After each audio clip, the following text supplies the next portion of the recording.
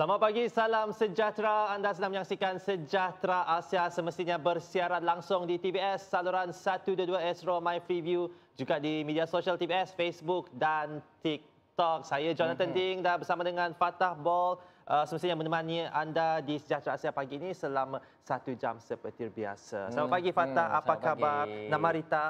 Nama berita Tuan. mana? Mana? Okey, macam mana John?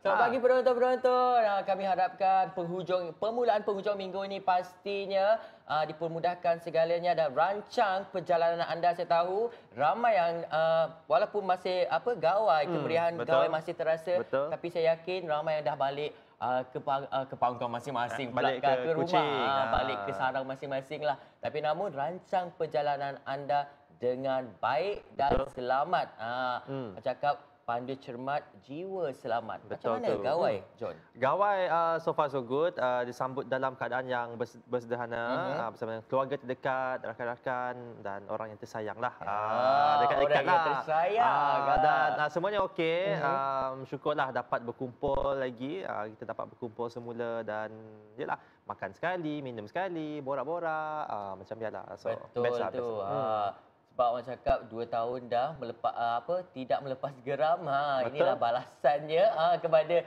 raya gawai ya raya yes. gawai lepas hmm. ni selepas gawai ni kita akan ada raya Aidil Adha tapi sebelum hmm. Aidil raya Aidil Adha kita akan ada satu festival yang bukan sinonim lagi ya merupakan di Sarawak, satu uh, di Sarawak hmm. satu Betul. festival yang sangat-sangat besar uh, Rainforest World, World Festival. Music Festival. Uh, yeah. John pergi tak? Uh, tak tahu lagi. Uh, mungkin lah, mungkin ada plan nak pergi tapi belum lagi membuat keputusan. Mm-hmm. Jadi kita tengoklah dalam beberapa hari ini. Uh, tengoklah sama ada nak beli tiket ataupun tidaklah. Ha, jadi uh, jangan tak pergi ke? Saya tengok pasal John juga tengok kepada situasi uh, tapi saya nak memaparkan kepada penonton jangan hmm. terlepas peluang anda untuk uh, beli tiket Rainforest World Festival ya. kerana kita tahu ini adalah hmm. apa orang cakap dah 2 tahun. Ha. Uh, apa Rainforest Festival ini yep. disambut secara apa maya uh, online ini, betul, uh, betul dia dua dia secara hybrid di mana secara maya dan secara fizikal pastinya anda nak pergi dekat Rainforest Festival secara fizikal yes. nak merasai bagaimana keunikan festival itu kena beli tiket dia sekarang. Ah sekarang eh cewa. Yes. macam promote pula betul, dah. Betul. Baiklah. Uh, saya rasa Fatah seperti hmm. biasalah setiap pagi memang kita akan kongsikan antara berita-berita ringkas hmm. kepada penonton sejahtera Asia dan mungkin Fatah boleh mulakan dengan perincian kita yang pertama. Betul tu. Hmm. Di mana pembukaan loji metanol di hmm. Bintulu bakal mewujudkan banyak peluang pekerjaan bagi penduduk setempat.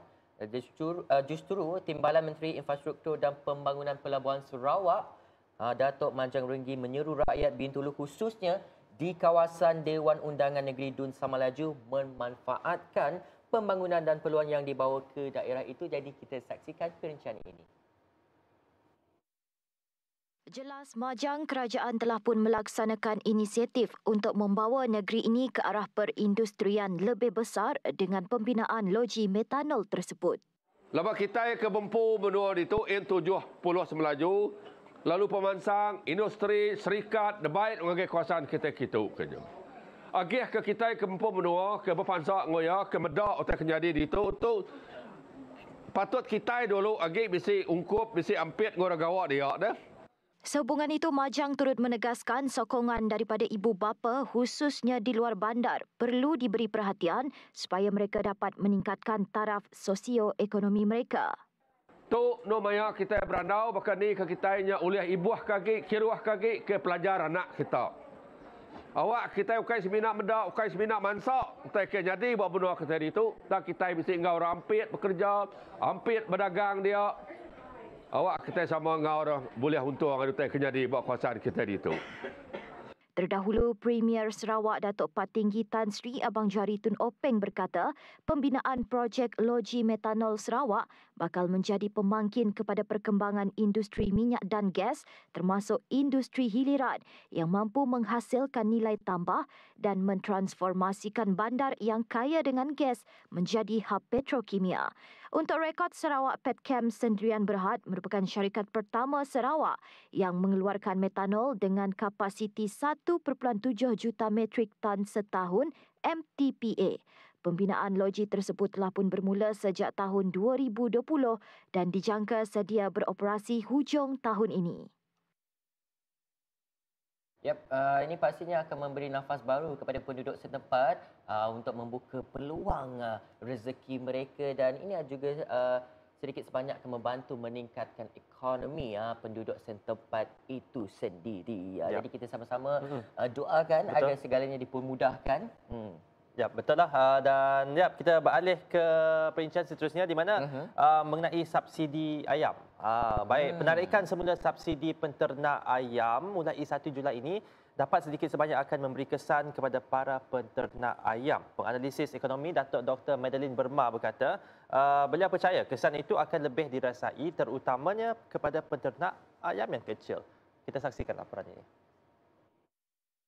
Uh, subsidi diberikan dengan harapan untuk uh, menampung ya uh, uh, perbezaan. Kerajaan telah memperuntukkan uh, subsidi walau bagaimanapun dikatakan bahawa subsidi ini tidak digunakan oleh sejumlah besar penternak. Maka disebabkan oleh itu terdapat uh, 700 lebih juta yang tidak di uh, dimanfaatkan oleh penternak. So di sini apa yang berlaku kos pengeluaran ayam akan akan terpaksa diteruskan ditanggung oleh penternak. Uh, ini uh, mungkin berkaitan dengan uh, kos yang ditanggung oleh penternak khususnya bagi penternak yang besar uh, mungkin uh, masalah ini tidak begitu berat ya.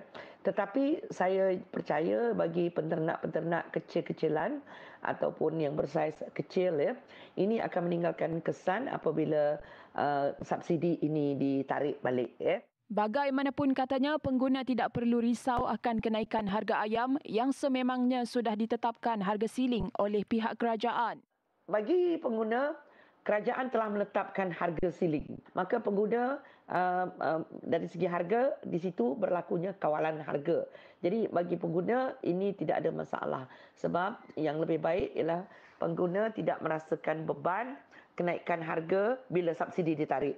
Sebab harga kawalan sudah ditetapkan ya. Kerajaan telah menetapkan uh, harga kawalan ya harga siling harga ayam masih lagi terkawal Justeru beliau berharap dengan perpindahan subsidi oleh pihak kerajaan ini, ia dapat memberi manfaat kepada golongan yang memerlukan. Terdahulu, Perdana Menteri Datuk Seri Ismail Sabri Yaakob mengumumkan mulai 1 Julai ini kerajaan tidak lagi memberi subsidi kepada penternak-penternak ayam sebaliknya menyalurkan bantuan tunai secara terus kepada rakyat yang memerlukan terutamanya golongan B40. Bantuan yang diberikan tersebut adalah bagi mengurangkan bebanan rakyat terhadap kenaikan harga barang. Ya, dengan uh, itulah uh, apa yang dikongsikan oleh penganalisis ekonomi Datuk Dr. Madeline Berma di mana ia semestinya akan memberi kesan terutamanya kepada penternak ayam uh, yang kecil uh, sebab mm-hmm. subsidi dah ditarik balik uh, tapi walau bagaimanapun ia sebagai pembeli ataupun pengguna tidak akan terkesan sebab harga uh, siling ataupun harga runcit untuk ayam telah pun ditetapkan oleh pihak Kementerian KPDN HEP. Betul Ah. tu. Walaupun kita Hmm. tahu isu kenaikan harga ayam ini agak membimbangkan rakyat setempat tapi namun ah, bijak berbelanja itu kena ada Betul. kena tanam dalam diri Ah, walaupun ia sedikit sebanyak memberi implikasi kepada kita tapi itu bukan satu alasan untuk Mm-mm. kita tidak makan ayam. betul, betul. Okey. Okey. Tadi kita ada bercerita mengenai satu festival yang akan datang. Yes. Yang ini baru-baru ya. Festival ini baru-baru je berlangsung di mana Hmm. festival makanan Nang Nyaman. Nang Ang- Nyaman. Nang Hmm, Nyaman. ah, okey. Angkat Warisan Sarawak.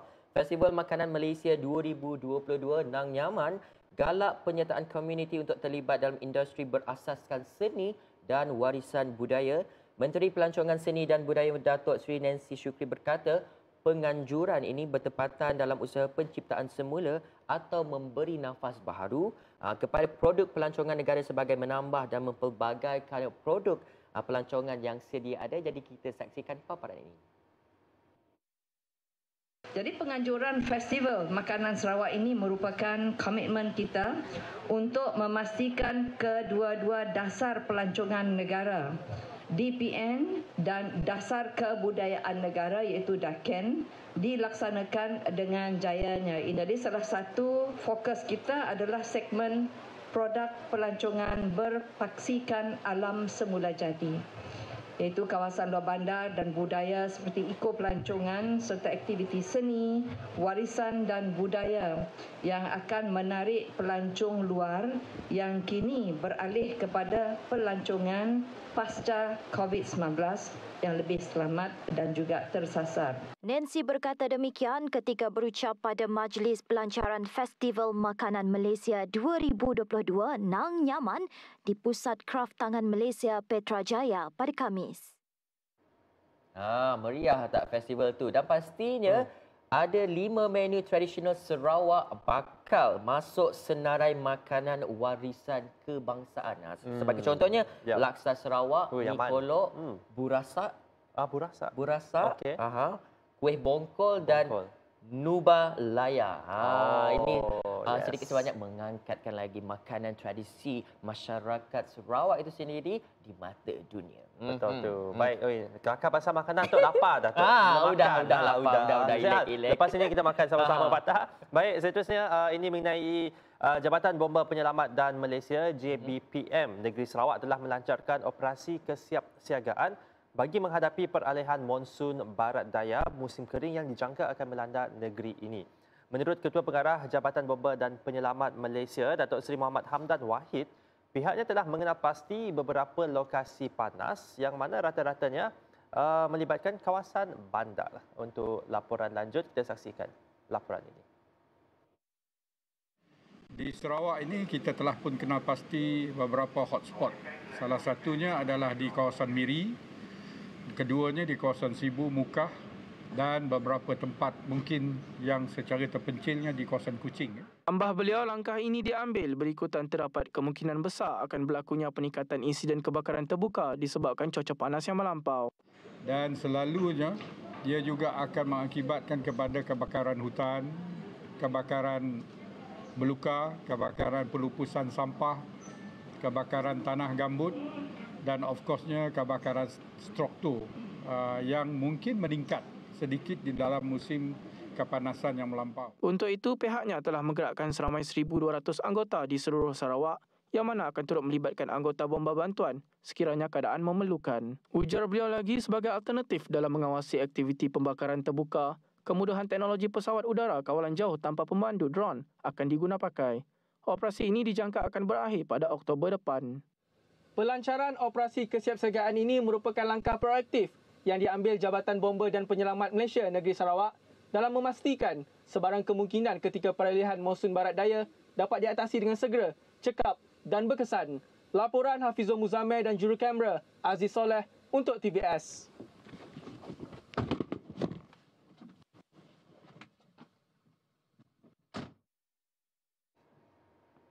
Ya, seronok dia naik truck ah. apa bomba bomba truck. Baik, tapi walau bagaimanapun uh, kita tahu sekarang pun kalau kita uh, dekat dekat Kuching lah, hmm. uh, terutama dekat Kuching kat Sarawak ni kita pun dah dapat rasa memang panas. Agak uh, bahang, bahang lah suasananya. Hmm. Justru itu penonton-penonton uh, kena hati-hati. Yep. Hydra, dehidrasi itu penting. Hmm. Minum air uh, kalau boleh banyak-banyak tapi janganlah terlebih pula. Betul. Uh, kan susah pula ya. nak kuang kuit pergi toilet. apa, pergi toilet. Uh, uh, dan, dan kita uh, apa cakap kita nak mengelakkan juga heat stroke di mana ini adalah satu situasi yang darurat yang hmm. boleh menempah maut. Jadi kita kena hati-hati. Okey, ini yep. kita berbalik kepada perincian seterusnya di hmm. mana ini ada satu uh, berita uh, yang baik. Sukan. Ah, hmm. berita sukan di mana Persatuan Muatai Negeri Sarawak PMNS dengan kerjasama Pusat Hikmat Nenam Tupong, Enam Tupong uh, dan agensi berkaitan akan menganjurkan NSIC Muatai Challenge 2022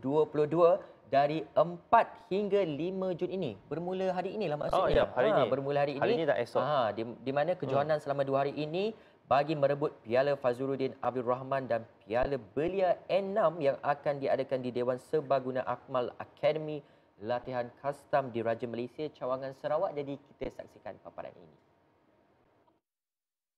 Pengarah Kejohanan Azmani Mohamad dalam satu kenyataan berkata penganjuran ini bertujuan untuk memperkenal dan mengembangkan sukan muatai di Sarawak sekaligus beri galakan kepada remaja untuk bergiat aktif dalam sukan bagi mengurangkan gejala tidak sihat. Ujarnya lagi aktiviti ini boleh menjadi pemangkin kepada kejohanan yang lebih besar di samping mencipta jenama sukan di negara seperti sukan yang lain. Terdapat 8 kategori yang akan dipertandingkan membabitkan penyertaan kira-kira 70 peserta dengan sasaran petinju dari sekitar Kuching dan Petrajaya khasnya. Tumpuan aksi adalah terarah kepada perlawanan kategori belia 18 tahun ke atas dan kategori junior 13 tahun ke bawah. Tidak kurang menariknya pertembungan bagi merebut piala belia N6 Tupong Petrajaya 18 tahun ke atas, Piala Belia N6 Tupong Petrajaya untuk 18 tahun dan ke bawah serta Piala Belia N6 Tupong Petrajaya bagi 12 tahun. Ia termasuk dua pertembungan utama iaitu Super Fight Jemputan Borneo dan Super Fight Amateur N6 Muay Thai Challenge. Bagi meranjakkan lagi cabaran tersebut, penganjur turut memperkenalkan perlawanan istimewa bagi merebut Piala Datuk Seri Fadilah Yusof uh, kita nak ucapkan selamat maju jaya kepada 70 peninju yang bakal berentap di dalam N6 Muay Thai Challenge 2022 ni bagi yep. Piala Fazruddin Abdul Rahman dan Piala Belia N6 mm-hmm. uh, yang akan berlangsung pada hari ini dan esok apa pun hati-hati ha uh, yep. You peninju eh? Eh tidak. si pandai, si pandai. Uh, tapi saya dia lah all the best to uh, semua peserta mm-hmm. dan yep, semoga berjaya. Uh, mm-hmm. Baik, saya rasa itu saja antara perincian uh, perkongsian berita ringkas yang kami nak kongsikan kepada anda tapi kita akan berehat sebentar sebelah sini yeah. tapi sebelum tu kita nak ucapkan terima kasihlah uh, kepada perabot uh, yang ada di depan kita ni ya daripada Vela Design Kuching yeah. dan juga um, decoration gawai kat belakang tu patah ha daripada Mat Brambe mm-hmm. uh, jadi terima kasih mm. mm-hmm. dia akan memeriahkan lagi lah set-set kita ni ha jadi kita nak berhenti berehat sebab saya dengan John nak minum dulu Jangan ke mana-mana hanya dalam Sejahtera Asia. Kita akan lancarkan TV station dari Sarawak. Ini Sarawak pun ada TV-nya sendiri. 10 hari bulan, paparlah TV Sarawak.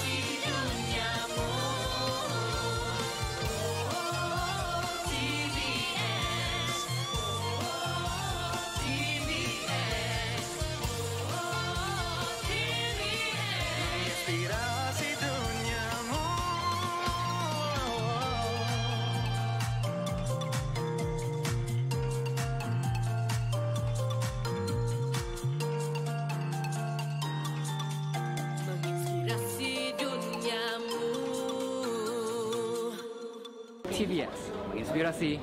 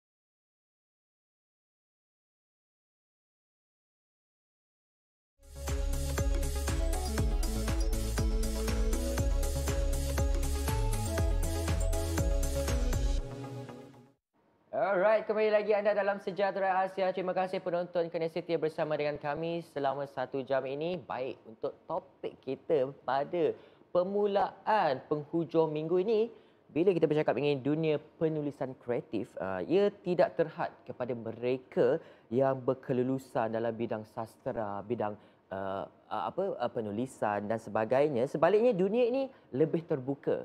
Sebenarnya jika anda, anda pun boleh, jika anda ada idea dan kreativiti yang boleh dihasilkan dalam bentuk penulisan sastra. Oleh itu kita pada hari ini bersama dengan ha, kita punya apa penulis buku dan skrip lah Encik Dahiri Saini ha, dengan tajuk kita pada hari ini cukup menarik seni kreatif melalui karya sastra. Selamat datang. Sihat? Sungguh Alhamdulillah. Syukur Alhamdulillah. Pagi. Okey. Selamat pagi. Selamat pagi. Seperti mana kita Hmm. tengok ni Ah. penonton atas meja ni ini baru sikit buku dia bawa. Banyak buku tu. Agak, agak-agaknya berapa dah buah buku? Uh, kalau uh, buku persendirian tu dalam bawah 30 lah. Bawah 30. Bawah 30 dalam Hmm. 29 macam tu lah. Okey, kalau keseluruhan Kalau ada buku bersama tu dalam hampir 107. Wow. 107. Wow. Hasil buku ni karya. Hmm. bukan bukannya apa Nipis. nipis kan tebal Ah, ni. Okey ada baik. buku tebal. Ya. Bagaimana permulaan dalam bidang Hmm. penulisan? Uh, saya bermula pada tahun 1990. Okey. Saya rasa hampir 1990. 30 tahun.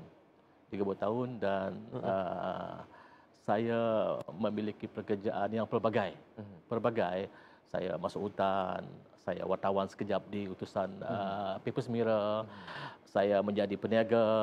Hmm. Uh, saya jadi jual-jual. Hampir semua kejaya yang yang saya ceburi bukan apa, kita nak cari pengalaman. Ya. Pengalaman itu paling penting. Betul. Ha. Ya, betul. Dan Pelbagai. Okey, dalam bidang pelbagai Okey. kan. Uh, Kenapa memilih sebagai penulis? keseronokan. Keseronok. Ha, Keseronokan. kadang-kadang ha, Okey. keseronokan. Kadang-kadang uh, dalam menulis ni kita rasa seronok. Aha.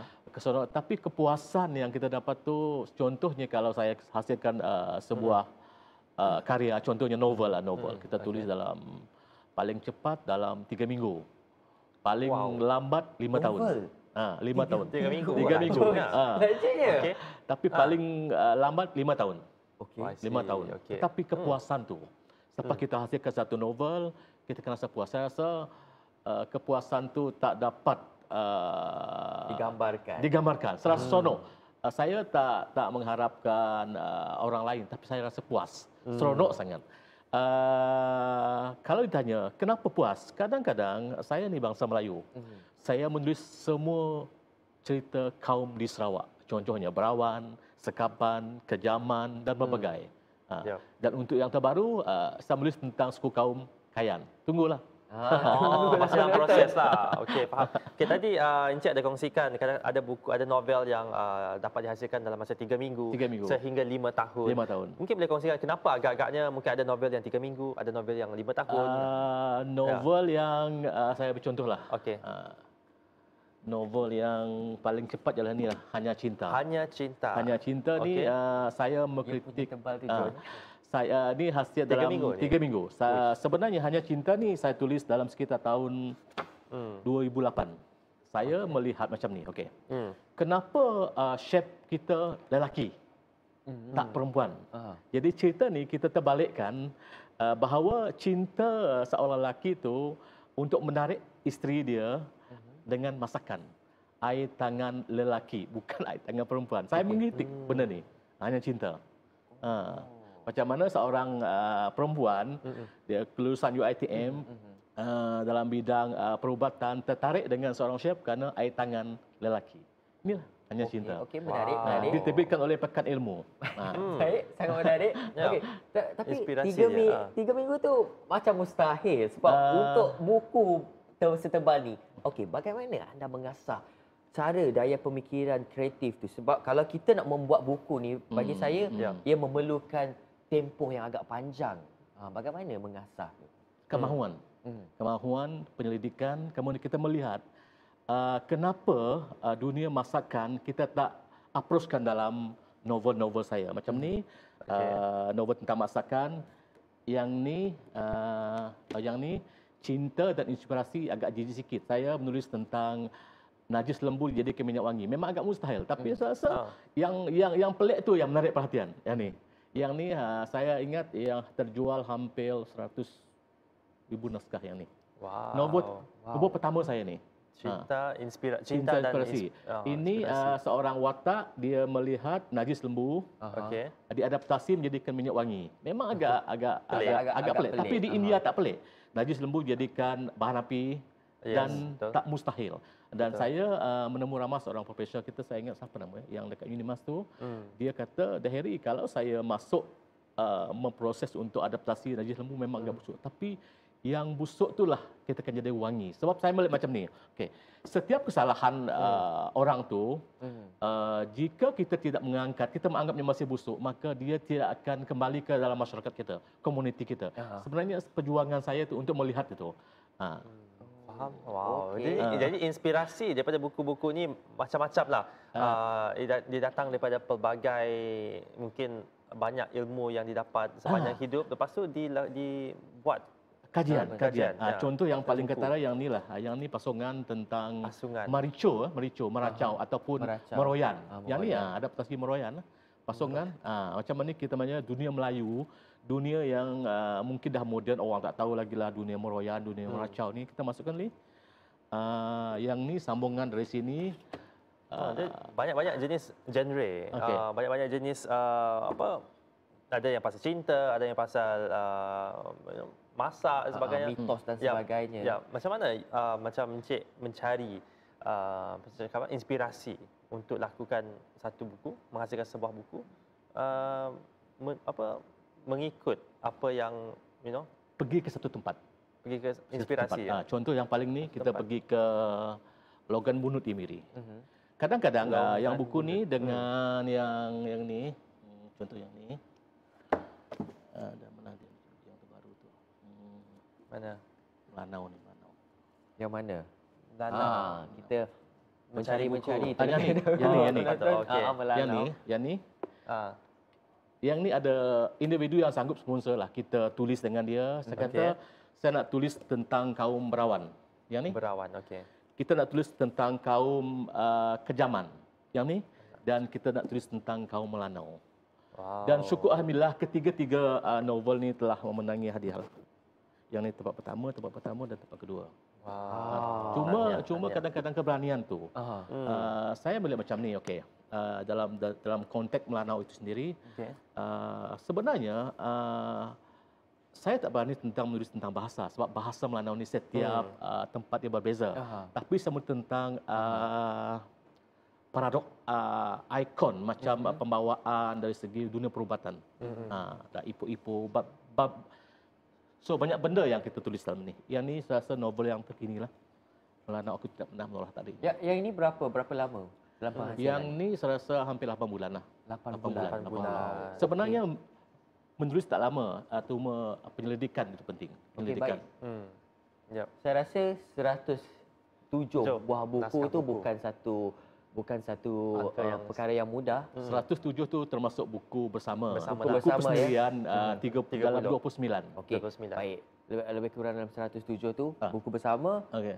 Ada uh, membantu tak dalam kehidupan seharian?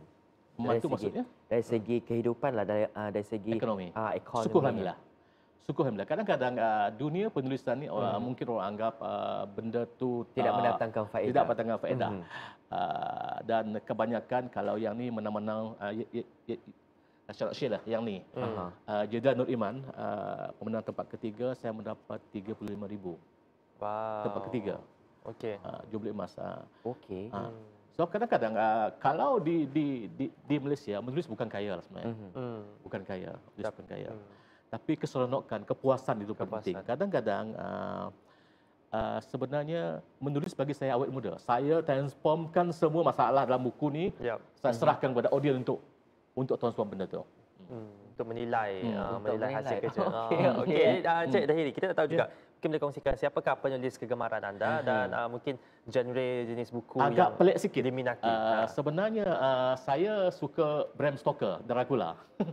Okey. Okey. Dracula. Okey. Okey. Novel yang tak sampai sekarang saya masih ingat tentang Dracula di Itali. Kalau ditanya kalau ada rezeki lah, Hmm. uh, mungkin nak pergi ke sana. Tapi sebenarnya novel tu lah yang paling uh, mendesak saya untuk uh, sekarang lah. Menjadi penulis. Uh, termasuk juga Dr. Anwar Ridwan, Hmm. Shannon Ahmad, uh, Razali Malim Pikir, itu banyaklah. Uh, Yep. Bi- Bila melihat kepada cara uh, percakapan itu, kemahuan itu penting. Hmm, Tapi kemahuan. namun mungkin boleh kongsikan kepada penonton, apakah antara cabaran-cabaran untuk menulis sesebuah novel ni? Sebab saya pasti Ya. ia bu- bukan sesuatu yang mudah. Cabaran sebenarnya uh, masa lah. Masa. Masa ramai orang kata uh, masa untuk menulis tu memang tak ada. Mhm. Tapi saya percaya uh, bagi saya uh, saya bukan satu tip lah, satu tip. Okey. Uh, katakanlah uh, saudara berdua lah nak tulis satu uh, novel yang sekitar dalam 300 muka surat. Mhm. Katakanlah kita hasilkan satu muka surat sehari. Mhm. Bermakna 300 hari dah, dah sampai 300 muka surat. Dah satu novel. Ha. Tapi bagi yang yang yang agak agresif sikit, dia Hmm. tulis 10 muka surat sehari dan kalikan kali dengan uh, 30 hari dia dapat 300 muka surat. 10 muka Katakan, surat ah, sehari. Tak mustahil. Kalau kita uh, sorry lah dengan internet sekarang kita boleh banyak bercerita Ah, lah ya tu. Banyak, banyak bercerita, bercerita. banyak tulis. Wow, Okey, macam okey, okey. Dan bila saya Keep menulis, moving. uh, bila saya menulis saya tak fikirkan tentang tata bahasa dulu. Kita idea itu, idea itu Oh, penting. okey. Idea, Oh, Di- okey. dia Idea bertolak dari Okey. idea. Ah. Okey, dari situ baru kita uh, atur balik Mm-mm. penggunaan bahasa. Mungkin mungkin boleh ceritakan sedikit macam mana pemprosesan Yap. bermula. Uh, bermula dari, dari segi idea lah. Contohnya, contoh saya nak tulis satu cerita kerangka cerita tu, saya boleh okey uh, macam uh, mata kayan ya. Aha. Nak tulis macam mana uh, adaptasi uh, orang kayan tentang uh, suku kaum macam Marin, Mhm. di Panega, macam uh, Kihui. Saya melihat uh, benda-benda yang tak orang lihat sekarang, Ya. benda-benda lama tapi saya angkat semula untuk kita berkongsi. Ya. Sebenarnya uh, walaupun saya bukan dari, uh, dari bangsa dia orang tapi saya menulis tentang uh, kesanggupan saya untuk menulis uh, tentang itu cuma ketulusan jiwa kita harus ada. Kita menulis berani, hmm. kita harus uh, ikhlas dalam teks kita lah. Ya. Uh. Tapi ia juga memerlukan banyak fakta-fakta yang penting. Jadi uh. di situlah uh, datangnya research, you know, penyelidikan, penyelidikan penting. penting. Uh. Tapi siapakah mungkin okay, contoh kalau kita uh, macam Encik uh, kongsikan tulis buku mengenai kayan okay. dan sebagainya. Siapakah uh, your focal point untuk mencari uh, untuk cek balik fakta-fakta yang dikongsikan? Uh, saya banyak berhubung dengan Mr Google. Google. Kamu, okay. kamu dia bisa Google, kita ada kawan-kawan, kita share uh-huh. dekat FB, kita tanya siapa bahasa kawan uh, kaya dekat sini. Uh-huh. Kita feedback lah. Contohnya kalau suku kaum Merawan, saya pergi dekat sana. Yep. Uh, kalau Long Segaham, kita pergi dekat sana. Hmm. Kadang-kadang uh, sesuatu yang menarik saya lah bila kita menulis, kita rasa uh, apa dah? awet muda lah. Hmm. Saya dah tua sekarang. Ya. awet muda. Ha. Ya. Okay. Yalah, sebab uh, ya, ya apa me, apa memaksa seorang penulis itu untuk terus uh, apa make the brand working lah. Hmm. uh, untuk tulis tulis tulis. Kesegaran itulah, kesegaran. kesegaran. Itulah awet muda dia. Hmm. ah, kalau awet muda saya macam lain sikit. Okey kita nak berhenti berehat seketika. Selepas ini kita saya banyak lagi nak tanya soalan hmm. mengenai buku-buku yang ada di atas meja ni. Jadi kita berhenti kita, jangan ke mana-mana hanya dalam sejahtera. Asia. Asia.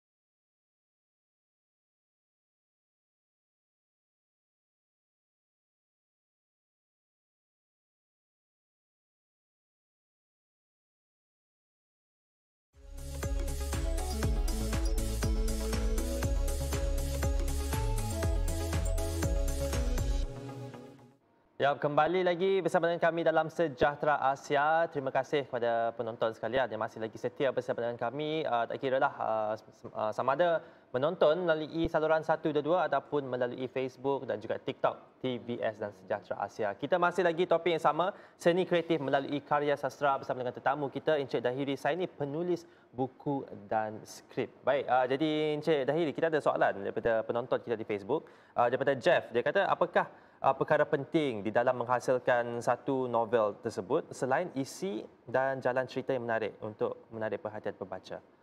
Hmm. Oh, sebenarnya uh, untuk menjadikan gagasan, idea itu. Gagasan, idea. Okay, gagasan. Uh, kadang-kadang uh, kita percaya bila kita belajar, kita hmm. menggunakan urutan A, B, C, D, F, G, F, G hmm. sampai ke Z hmm. dan hmm. 1 sampai 10. Ya. Tapi dalam teks kita boleh jungkir balikkan. Hmm. 10, oh. 9, 11 itu menarik. Okay. Uh, itu teknik sebenarnya.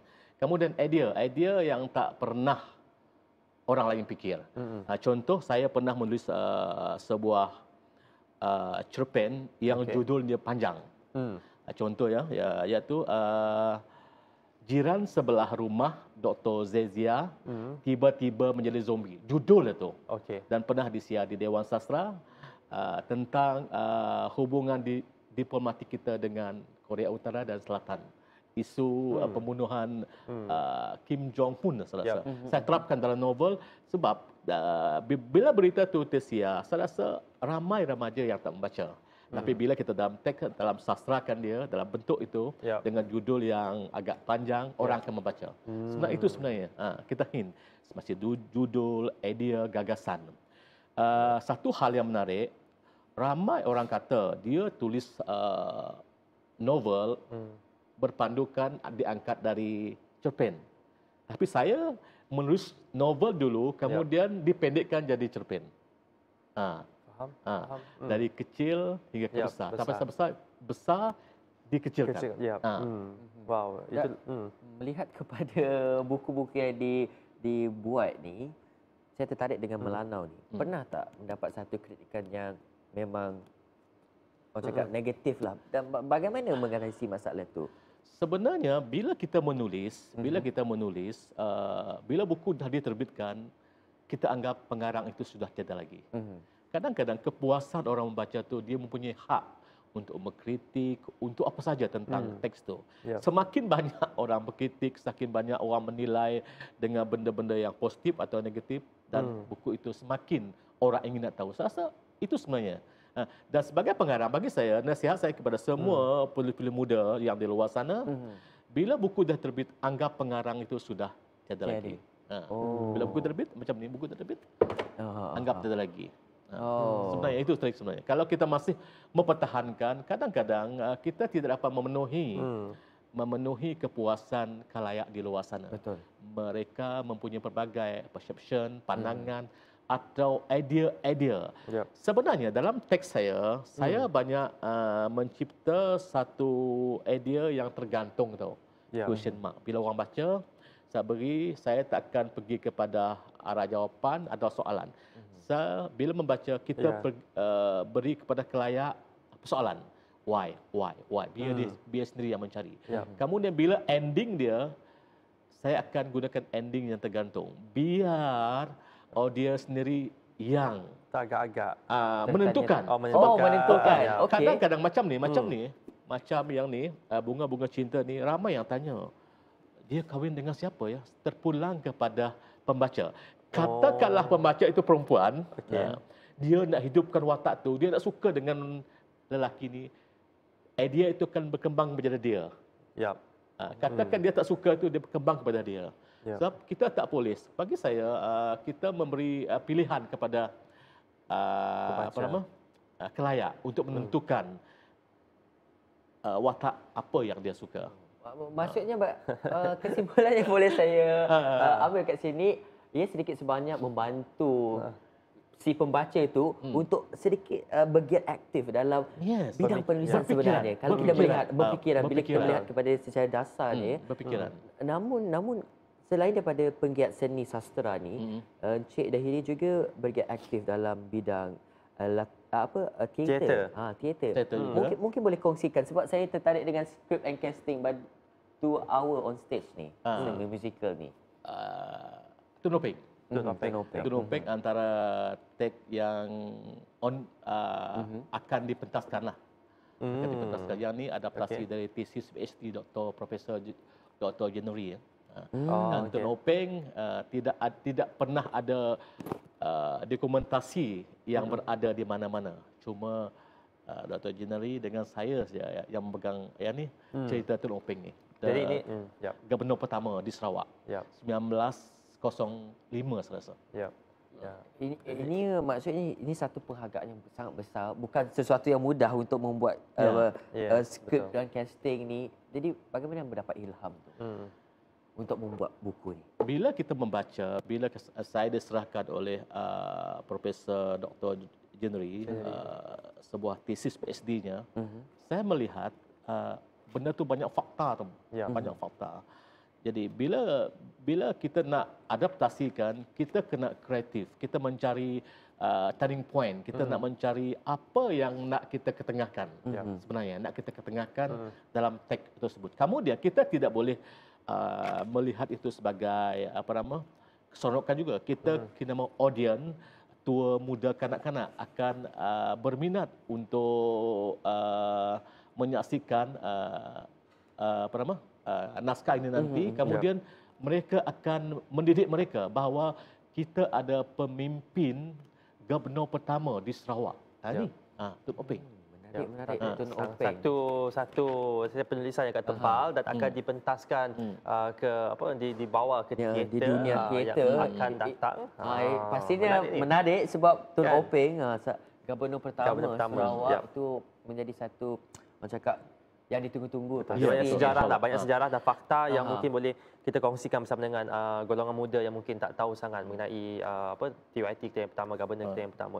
Baik dan kita tak tahu juga uh, setiap penulis memang tidak akan lari daripada writer's block. Betul. Uh, dan uh, bagi Cik Dahiri pula uh, mungkin boleh kongsikan uh, bagaimana apakah yang dilakukan untuk uh, mengatasi writer's block ni? Makan. Makan. Makan.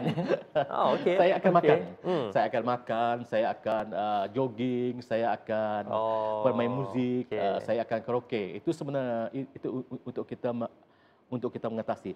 Sebenarnya Hmm. macam ni, okey. Uh, untuk idea blog ni, uh, saya menulis uh, tiga karya sekaligus. Okey.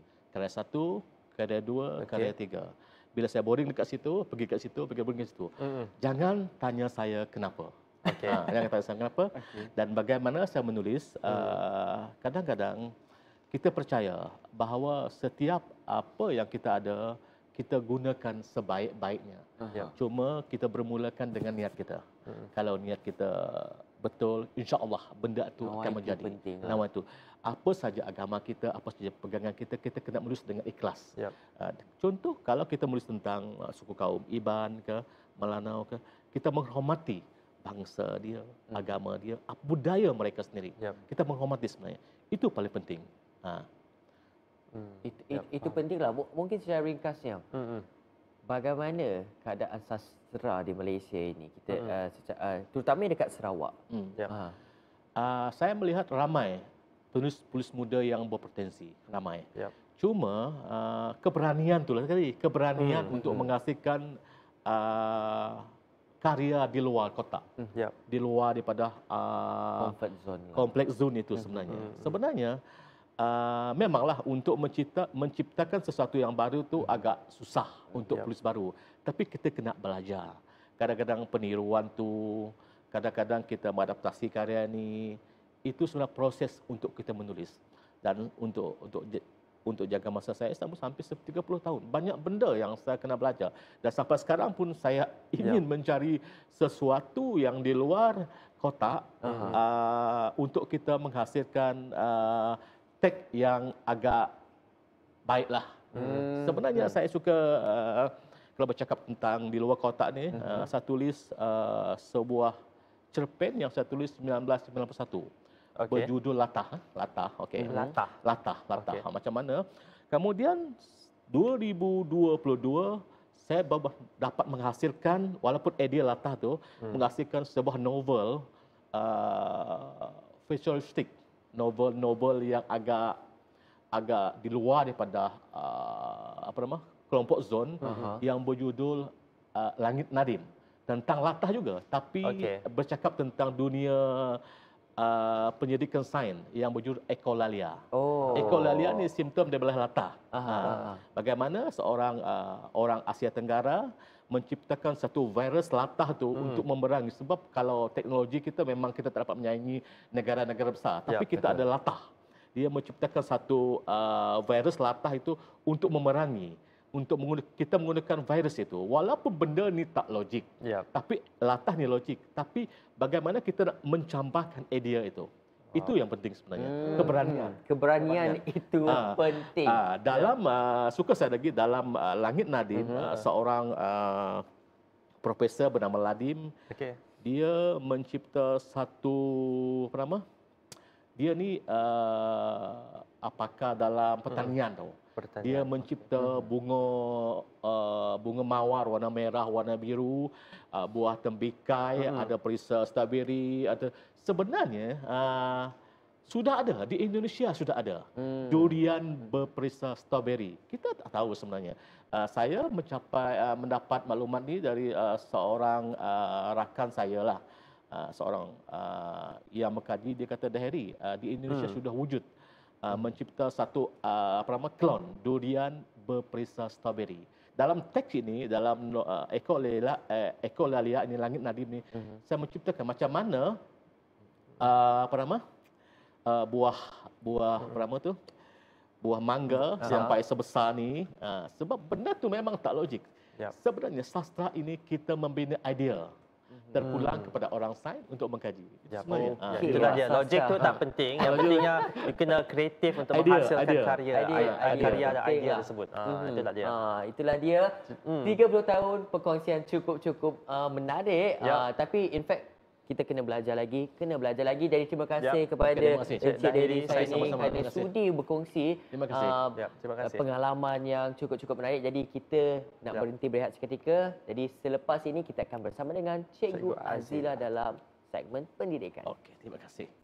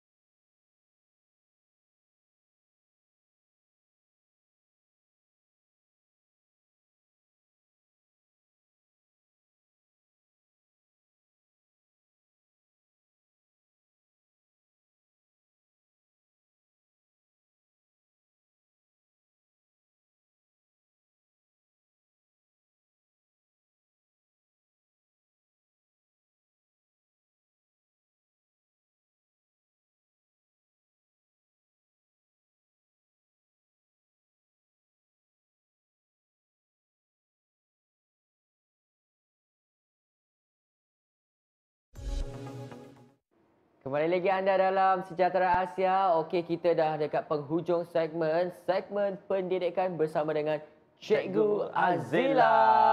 Selamat, selamat pagi, pagi, Cikgu. Selamat pagi. Ya, yes, jadi Cikgu, apa yang Cikgu nak ajar kita pada pagi itu? Macam minggu yang lepas itu, dia adalah tentang uh, kuasa dua, punca kuasa dua, hmm. kuasa dua sempurna. Hmm. Okay. Ya, yang ni kita nak fokus dahulu kuasa dua sahaja. Hmm. Square, how to square a number. Okay. Yang ini adalah nombor-nombor uh, kuasa dua yang mesti kita hafal. Kalau budak-budak sekolah ni, mm-hmm. uh, ini memang wajib hafal lah. Satu kuasa dua, dia bukan kadang-kadang uh, mereka confuse. Mm. Satu kuasa dua, dua cikgu katanya madah. Bukan. Bukan. Satu kuasa dua maksudnya satu darab dua kali. Satu darab, darab satu. satu. Berapa? Satu darab satu? Satu. Satu. So jawapan yang ini, satu kita letak oh, jawapan. Ah, dua. Situlah. ah, si baik. Ah, kalau yang ni dua kuasa dua, yang ini empat, empat. yang ni biasa sajalah. Hmm. Tiga kuasa dua, yang ni pun selalu confuse. Ah. Berapa tiga kuasa dua? Enam katanya Sembilan. selalu. Ah, sebenarnya adalah sembilan. sembilan. Same goes to yang lain lah. Yep. Macam yang ini enam belas, dua puluh lima, tiga puluh enam, empat puluh sembilan, 64 81 ni 100, 100. okay. ini adalah yang harus uh, pelajar hafal lah. Yep. dan saya nak bagi uh, ini trik sikit. Oh, besar ni. Uh, kalau nombornya Nombor besar, besar. jaranglah hafal sampai 9, oh, 65 95 98 jarang. So dia ada dia punya trik tau. Dia punya magic. Biasalah okay. kita kat sejahtera Asia ni banyak magic kan kalau mm-hmm. math kan. betul. Okey ni kalau 65 dia adalah dua digit eh. Nombor hmm. dua digit. Kalau dua digit di belakangnya adalah 5. Kita pernah belajar ni sebenarnya. Okey. 5 ini garanti jadi 25. Yes. Okey. Manakala 6 ini pula kita akan darab dengan nombor selepasnya. Apakah nombor selepas 6? 5. 7 selepas Oh, selepas bukan selepas. sebelum. Eh, tolong, tujuh. Ah, 7 selepas eh. Jadi darabkan 6 darab 7 42. Ah. Ah, tu dapat jawapannya. 4225. Okey, faham. Okey, cuba 95 ya. Okey, 95 pula. 5 5 ini square 25. ah, stay. Ini pula darab dengan nombor sebelah Sepuluh. selepasnya 10. 90. Iya. Oh, Ah, senang kan, lah. ah, bila adik-adik dekat sekolah kan, Ah. dia boleh buat macam ni, dia ah, apa ni acah-acah genius sikit lah, dah boleh buat kan. Dia laju sikit tak, lah. ah, tak perlu nak tekan kalkulator. Terus dapat.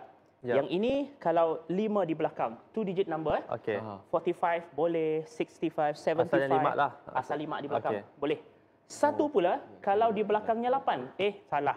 Kalau di depannya 9. Sembilan. belakang 8 Okey. pula. Okey, kalau di depannya 9, dia lain sikit. Yang ini kita kena tolak 100 dahulu. Bila tolak 100 dapat 2 kan? Dua. Nombor 2 ini sangat-sangat berguna. Pertama sekali, 98 tolak dengan 2.